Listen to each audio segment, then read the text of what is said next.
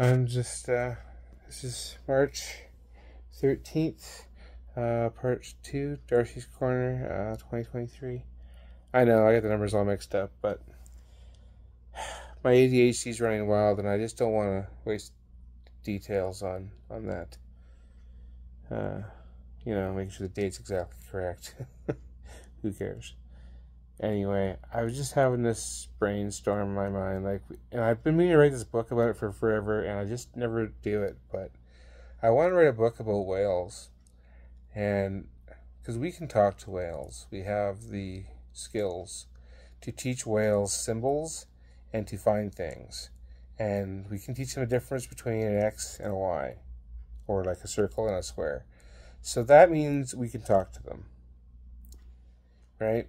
So what if we what if I wrote a book or a science fiction series about killer whales that were called sea shepherds, and so they're out, I don't know, in the ocean doing stuff because we're telling them to, right?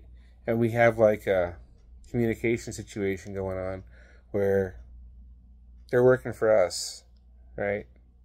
Or we're working for them, depending on how you look at it right? Because we're preserving them and making sure they don't go extinct and stuff, right? But they're helping us make sure sharks don't like attack attack beaches and stuff.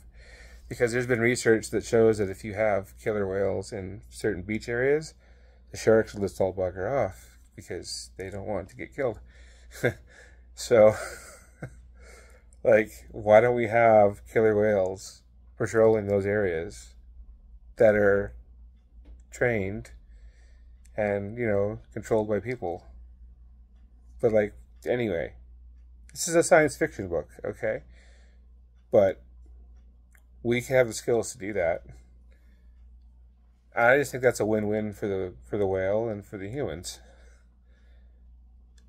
It's science fiction but it could be a good book be a good movie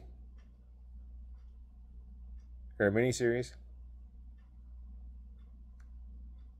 I think it would be good. I think it would be cool. Anyway, so yeah, that's my book about a whale that I want to write. Darci's Corner. I know, I'm just being goofy, but also I'm playing with the phone, so bear with me.